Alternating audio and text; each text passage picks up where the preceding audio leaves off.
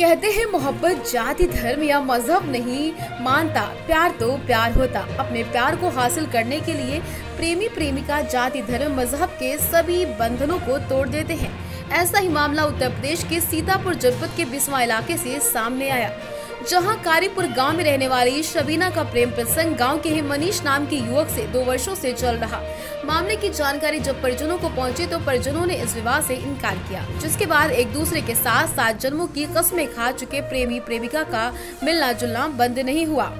इसकी वजह से युवती के घर वालों ने मामले की शिकायत पुलिस से की, हालाँकि पुलिस का कहना युवती शबीना और मनीष दोनों बालिग हैं, अपनी मर्ज़ी से विवाह कर सकते हैं।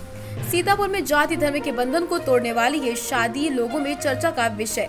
वही अपने प्यार को पाने के बाद मनीष और प्रीति दोनों बजरंग दल एवं विश्व हिंदू परिषद के कार्यकर्ताओं को धन्यवाद दे रहे